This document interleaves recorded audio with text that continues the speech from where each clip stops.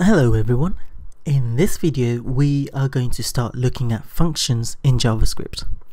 Now, uh, in my previous videos from video 1, when we looked at all the JavaScript uh, codes, when we actually refreshed our browser or double clicked on our HTML document and opened it within a browser, what it did was automatically or the code we wrote within that HTML document automatically gets executed. So as you can see, all the number one up to number one, number nine is uh, outputted automatically whenever I uh, refresh my document. However, what the function does is basically a function is a block of code that will be executed when someone calls it. For example, when I press a button.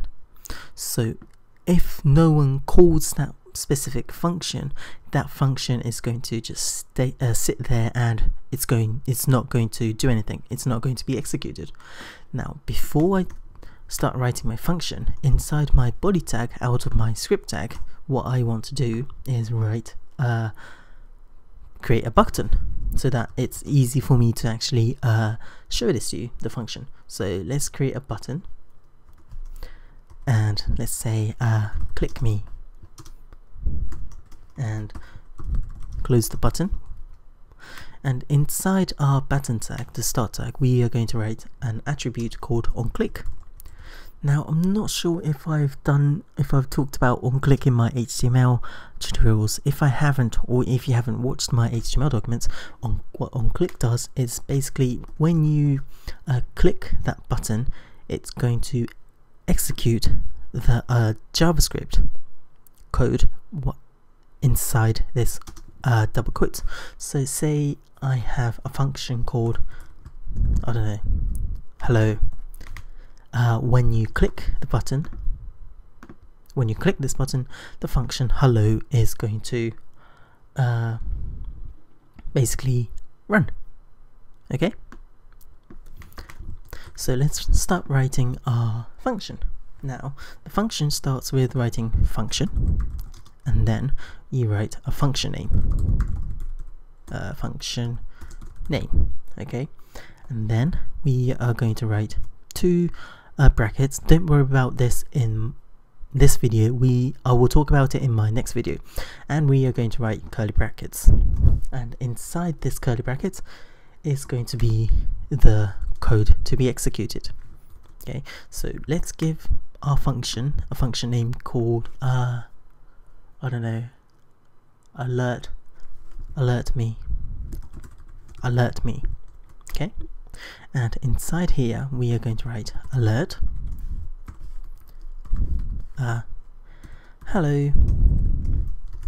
There we go.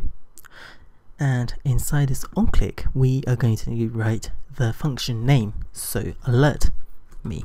And when we write a function, the difference between when writing a function name and a variable name is that this itself is just going to be recognized as a variable name.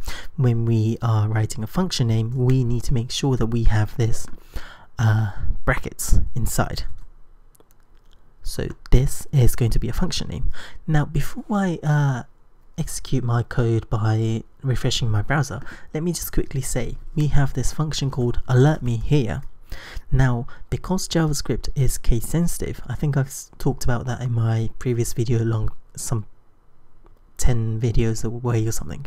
Uh, say if I have another function called alert me, because the M is different, one of them is uppercase and one of them is lowercase, these two are going to be recognized as a completely different function. So even if I have uh, a function called alert me, if I just write alert me with a small m, it won't do anything because it's going to be recognized as a completely different function. So let's save our work and refresh and let's click. There we go. What it did was it uh, created an alert box saying hello, just like what I told it to do in my function.